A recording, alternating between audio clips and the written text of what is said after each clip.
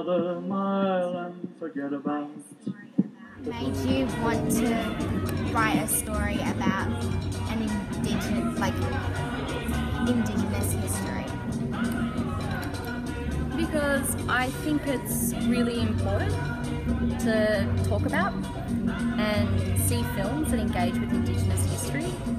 Um, I think it's important if you're not Indigenous, like me, that you have a cultural liaison officer, um, that you have people involved in the film that are Indigenous, so they can help advise you on the story. But I don't think it should prohibit you. I mean, imagine if we only told stories that related to our own culture. Yeah, like there's, as a filmmaker, you connect with bigger kind of overarching themes in that story. And so for me, The Drover's Boy is also about a really strong woman from our past. And it's also about us not documenting our past properly. And so that's why I wanted to, to tell it. Yeah. What advice have you got for kids who want to be filmmakers when they grow up? Hmm. Because we're on the young spectrum. Yep. I'd say start now.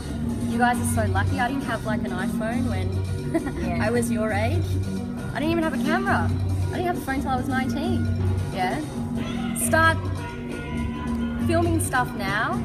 Start watching films. That's one of the best ways to learn is find directors that you like and look at their work. And when you're old enough, intern. It's one of the best ways you're going to get practical experience is to intern, uh, which means that basically you're working for free, unfortunately.